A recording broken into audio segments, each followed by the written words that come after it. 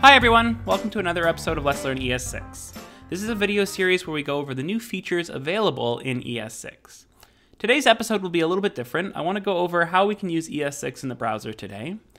Uh, support is getting really great for ES6. Uh, current Chrome, so Chrome 50 I believe it is, uh, has about 91% support for the new ES6 features. However, we can't always bet that we're going to be working, uh, or sorry, our code is going to be running inside of Chrome, uh, the latest version. You might be running uh, slightly older versions of IE, uh, Firefox, um, other browsers like Dolphin or uh, Opera, something like that. So if you're doing uh, writing code that's going to be run on all those browsers and you want to use ES6 now, you have to make sure that our code compiles from ES6 to uh, browser-friendly ES5. Hopefully one day soon we won't have to do this, but uh, just for now, we're going to have to make sure our code is readable everywhere. So in order to do this, we're going to need to use uh, Gulp and Babel. Now, Gulp is not the only thing we can use to transpile, and we don't have to use Gulp and Babel together exclusively. Uh, Babel is a transpiler uh, that has been created to make it really easy uh, to transfer our code from ES6 to ES5. Now, uh, in order to do this, we're going to need Node installed, and we're going to need to be working on the command line. Now, if you haven't used a lot of command line tools before, uh, I want to point out one website that's pretty great, and uh, it's commandlinepoweruser.com.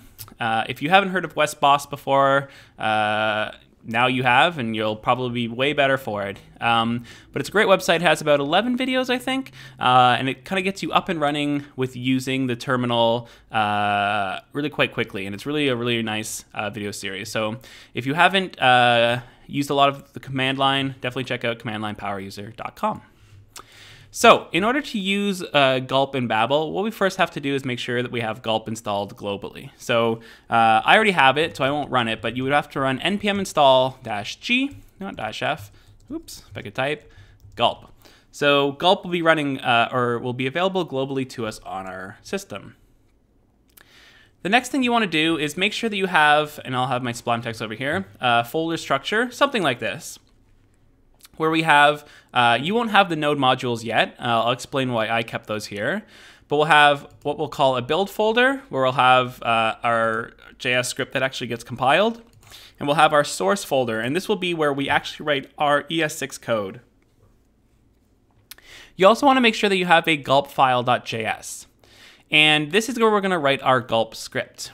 Now I have this package.json file that I've created in advance uh, that I use to install all of our uh, packages that I'm going to use. Uh, that's what this node modules folder is here.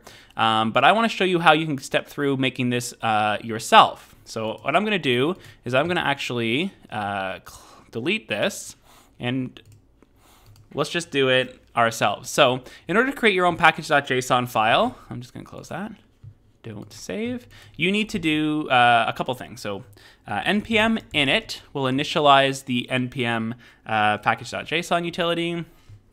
And then it's going to ask us a bunch of questions. So what is the name of our project? Uh, Gulp and Babel. Uh, what is the version we want? Version 1. And then what is the description? Uh, you could actually put stuff you want here. Uh, it could be testing, Gulp, and Babel. Realistically, we don't have to put anything there. Entry point, uh, for us, we can just leave it at gulp for now, but this would be like the main file for your project. Test commands, nope, git repository. Keywords, if you were actually putting this uh, on NPM as a module, you want to make sure you put keywords and stuff here. And author, we can just put ourselves. And license we'll just leave as uh, ISC for now, um, but you'd probably want to make it something uh, more specific to your project. So you just type yes. Oops, I spelled it incorrectly, but apparently it doesn't care. So I'm just going to clear my screen it's created this uh, package.json file for us. And what this does is it's a way for us to manage our dependencies. You'll see there's these two sections here, dependencies and dev dependencies. And when we install packages through NPM, we can save them to this file so that when we actually uh, share and collaborate with this project, we don't have to give somebody our node modules folder that has all the modules in it. We simply give them the package.json file and they will be able to run something like npm install and go from there. Uh, npm install will install anything that's in the dependencies and dev dependencies section. Uh, I'm just going to go back to the package.json I had uh, so that I don't have to download, so that we don't have to sit and wait for this video to finish. Um, but in order to get what we need going, uh, once you've done npm init, you'll have to type npm install dash dash save. So this will save it as a dependency. Um, dash dev, save it as a dev dependency. We have to include gulp. We're also going to have to include gulp babel. So gulp dash babel. Oops, type it in the wrong place. Gulp dash babel. And then uh, with the newest version of Babel, Babel uh, 6, instead of just by default uh, transpiling ES6 code or ECMAScript 2015 code, we actually have to download a special preset. So um, we're going to say Babel dash preset. Oops. Uh, if could spell and type ES 2015. Now, note that we have a space between all of these. If we do this, like this, uh, that will go ahead and grab all of those um, packages uh, in one line instead of doing npm install save gulp, npm install save gulp babel, uh, npm install gulp, etc., etc. So cool. Once you've done that, hit enter. Uh, it'll go out and it'll install all of your features. Uh, if you ever see when you're installing through npm, it says something like e-access as the error, you might just have to put sudo at the top uh, of your command. So sudo at the very front up here. Um, just based on the way you've installed uh, Node, it's uh, in a privileged folder, so you have to run it as uh, the sudo user. So again, I'm not going to do this because I've already installed them and I don't want to sit here waiting in the video, but I'll give you a second. There you go. And hopefully you've got them. Obviously you can take all the time you want. So I'm just going to clear that off and we can get started. So once you have those packages, uh, they'll show up in your uh, package.json. You can actually see that I, uh, I did this incorrectly. They're all in the, except for gulp, but they're in the dependency section, but that's okay for now. So I want you to open up gulpfile.js, and I'll just close that. Oh, I did want to save that. Whoops. That's okay. I have a test copy in another window. Boom. There we go. Okay, so open up gulpfile.js. So in order to use gulp, uh, we need to require gulp. If you've ever written a node script, once you've installed uh, something through npm and it's gone into the node modules, you need to require it into your uh, script.js file or gulpfile.js. So uh, the great thing about Node, and especially if you've installed Node now and you're on something like Node uh, 5 or 4, uh, is that there's actually a lot of great ES6 support. So we can actually write our gulp file that is going to transpile our ES6 code to ES5 code in ES6, which is really quite nice. So what we can do is we can say const, and we're using const here because we are going to say gulp uh, gulp is never going to change. We never want to reassign uh, the value stored in this variable. So we're just going to say const gulp equals require gulp. Great. And, oops, semicolon there. And the next line, we're going to want to require Babel. So const Babel equals require, oops, gulp dash Babel. Now, we're using the Gulp version of Babel. Uh, it's just set up to specially work through uh, Gulp. There's actually just a standalone version of Babel, and if you have a grunt, there's probably a grunt dash Babel, etc., uh, etc. Et so we're just going to be using our Gulp Babel. And we save it as just Babel just because it's easier to type. And I'm going to make this a little bit smaller here. Cool. So the way that Gulp works is you set up all these little tasks to run. Uh, and what we're going to do is we're going to set up a JS task first. So what we do is we say gulp.task.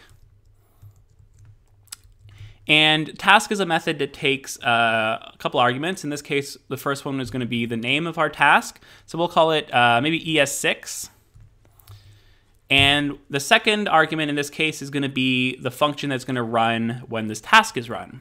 Now, since we're using Node uh, 5, we can actually do some ES6 stuff. So we can actually use an arrow function here as a callback function, which looks pretty sweet. So inside of this uh, body, we need to actually say what we want to do when our ES6 task runs. So in this case, we're going to return gulp.source. So what source do we want it to look at? In our case, it's going to be our src file or a folder slash app.js. So the app.js file inside of the source folder is sort of going to be the uh, uncompiled, untranspiled code. The way that gulp works is we take a source and then we pipe it through some other function. So uh, on a new line, uh, as long as you don't put a semicolon at the end here, we can say dot pipe. And inside of pipe, we actually tell it what function to pipe our uh, app.js file through. In our case, we want to pipe our app.js file, so this is the file that has the ES6 code on it, through Babel. So we say Babel, that's a function like that.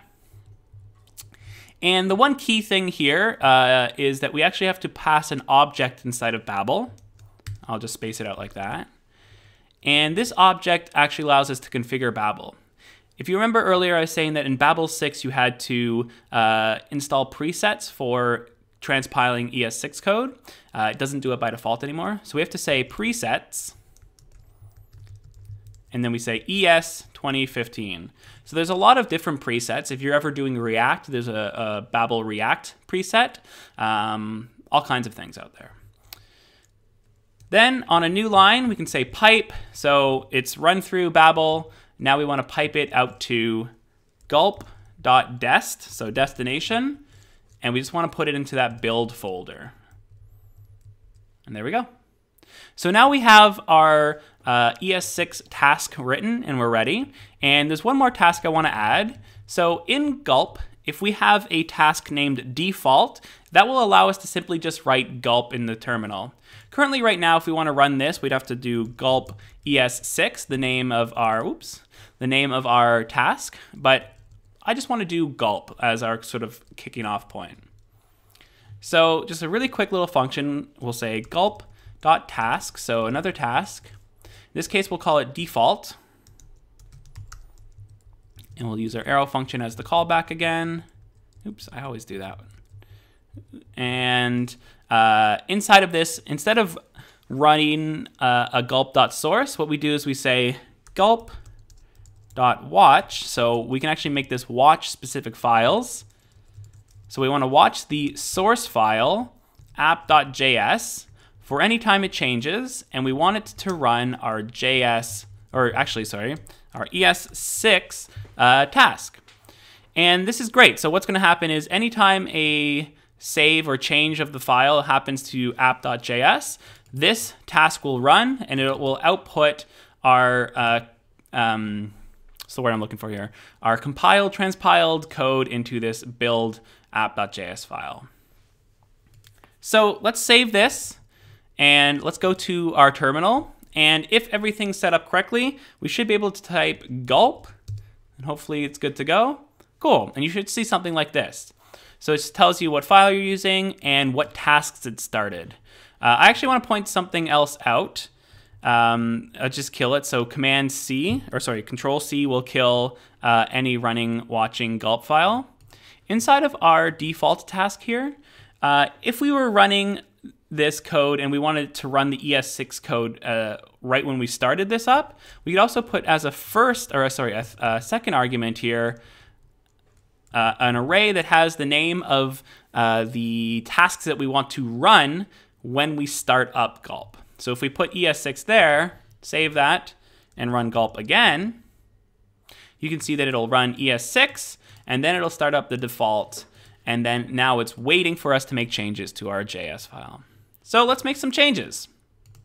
So inside of the source file, uh, app.js, let's say, uh, well, let's do something simple. Let's say uh, let um, name equal Ryan. Actually, we could do something like this, right? Ryan. And we could say let add equal, and we'll do an arrow function a, oops, sorry, a comma b, and let's just have it return a plus B. Cool. If you save that, you'll see in your terminal that it has started and finished the ES6 command. So uh, gulp.watch was watching for anything changing inside of this file. And now, if you actually take a look at the build app.js file, you'll see that it has taken our code, our ES6 code, and transpiled it down into be ES5 code. So it's removed the arrow function, uh, and anywhere where we said let, it actually just changed that to be a var. So uh, let's actually look at like a slightly more extreme example. Inside of our app.js, let's use uh, REST parameters uh, and some arrow functions and stuff like that. So let's make maybe a uh, let sum equal, uh, maybe this is a function that will take any number of variables. So we'll do REST parameter dot dot dot numbers, and it will return, oops, uh, numbers dot reduce. Oops, if I could type. And what we'll do is it'll get the previous and the current. And I'll just make this smaller so we can fit it all in. Actually, we'll just do the braces so we can see it all. And we'll just return uh, prev plus current. Cool. Great. So if we save this again, you'll see that it'll run the code. And if we go back to build, you can see that it actually creates uh, quite a more complex function. We get the ability of using this nice, nice, uh, let's say syntactic sugar, although it's not quite the meaning of that, uh, but it is a nice, sweet looking uh, syntax. And this is what it'll actually do until we can use it in the browser today. Um, so that's pretty great. Uh, and if you actually look at this, you could actually work out what's going on. It's just making its own um, uh, numbers uh, array and then doing the, the, the, reduce on top of that. So that's pretty sweet. Uh, and that's it for today. So hopefully you learned a little bit about using Gulp and Babel. Um, again, there's probably tons and tons and tons and tons of tutorials out there on how to do this. Uh, how to do this. Uh, I just wanted to show you really quickly uh, since we've been talking about using Babel with JSBin, I wanted to make sure that everyone had an understanding of how you could use it in the real world. And again, if you're using Node, you could actually go ahead and use quite a few ES6 features today. Uh, lots of stuff like arrow functions already ready to go, let and const, uh, template literals, uh, the spread operator, I believe, is in there. Not rest parameters, unfortunately. Um, just so many things. So yeah, I hope you learned something. Uh, on next episode, we're going to look at promises. So we're going to take a look at uh, the new promise uh, constructor inside of ES6, uh, how we can use them, and how we can uh, maybe if you haven't used promises before, maybe we'll just briefly talk about what a promise is and uh, all that stuff. So hopefully you've had a good time, and I'll see you next time. Bye.